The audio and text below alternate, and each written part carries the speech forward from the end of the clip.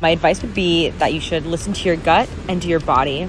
And if you're not in touch with your intuition yet, then you should really take the time to investigate what brings you joy and what brings you enthusiasm, and then really follow that passion and listen to that. Oh, and take care of yourself. My name is Amy, and one person I'm grateful for is Tess McGrinder. She's my best friend and also part of the class of 2023.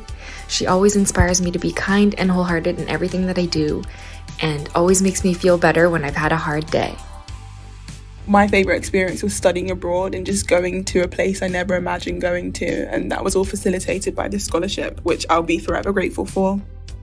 I was on the All Scholar NOLS trip summer before my freshman year, and I'm continually astounded by how close I've stayed with the six girls on that trip. So, to Nor, Mabel, Miranda, Naomi, Tyla, and Eleanor, thank you so much for your friendship, and I'm so glad to have shared these four years with you. Love you guys.